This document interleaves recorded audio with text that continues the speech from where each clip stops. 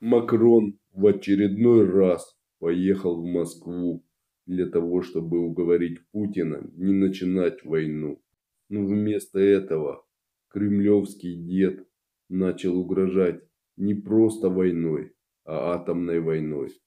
Он уточнил у Макрона, готов ли Париж к атомным бомбардировкам, если Украина постарается вернуть свои территории в Крыму и на Донбассе, Путин готов использовать атомное оружие против всех стран мира. Ему уже абсолютно не важно, что вокруг него происходит. Его главная и основная задача – начать Третью мировую